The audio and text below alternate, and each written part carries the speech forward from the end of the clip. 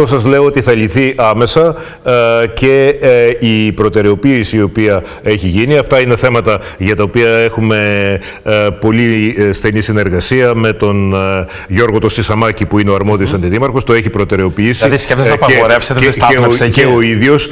ναι, ναι, ναι, ναι, ναι, ναι. Και, υπάρχει, στα δύο ρεύματα ή στο ένα εκ των δύο Υπάρχει τρόπος. Πρέπει, πρέπει και στα δύο.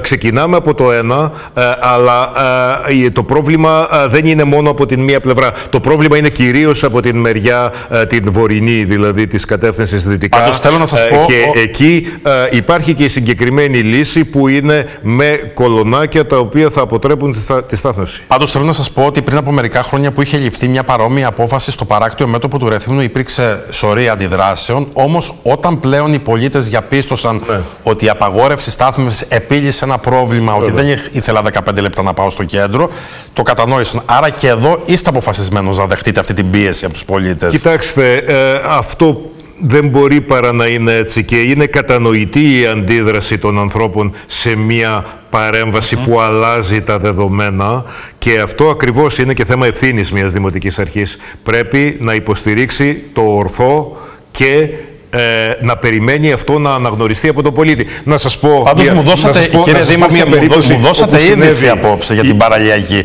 Είναι η πρώτη φορά που λέτε αυτό ότι θα απαγορεύσω τη στάθμευση στην παραλιακή. Ναι. ναι, όχι, αυτό είναι, είναι, είναι κάτι το οποίο. Μα η στάθμευση αυτή δεν, ε, ε, δεν θα έπρεπε να υφίσταται εκεί. Δεν είναι. Απλώς θα, θα πάυσει η στάθμευση εκεί όπου δεν θα έπρεπε να σταθμεύει κανείς καταλαμβάνοντας μια λωρίδα κυκλοφορίας. Δυστυχώς είναι ένα γενικευμένο φαινόμενο. Ε, έχουμε δρόμους με δύο λωρίδες που στην πράξη περιορίζονται σε μία. Δεν είναι η μόνη περίπτωση ε, στο Ηράκλειο.